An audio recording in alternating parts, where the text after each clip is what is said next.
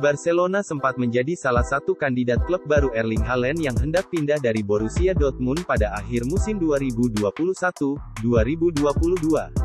Klub asal Katalunya itu digadang-gadang sebagai pesaing Manchester City untuk mendapatkan tanda tangan Haaland.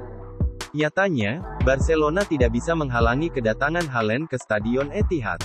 Pelatih Blaugrana, Xavi Hernandez, sadar timnya tidak bisa bersaing dengan The Sky Blues perihal mendatangkan Erling Haaland.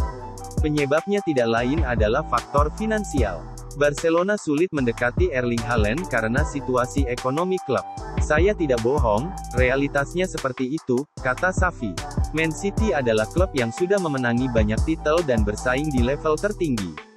Hanya saja kalau ditanya penyebab utamanya Barcelona berhenti mengejar Haaland, jawabannya adalah isu finansial, tuturnya melanjutkan.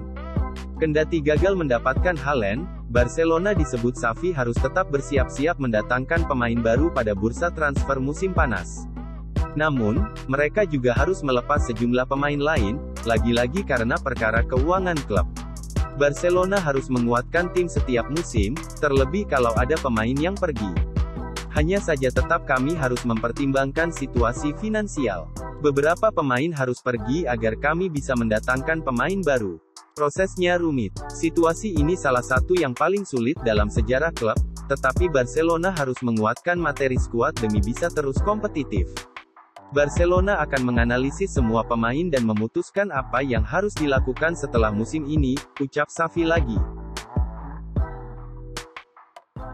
Terima kasih sudah menonton, silakan subscribe, like, dan jangan lupa komen di bawah ya bola spotter.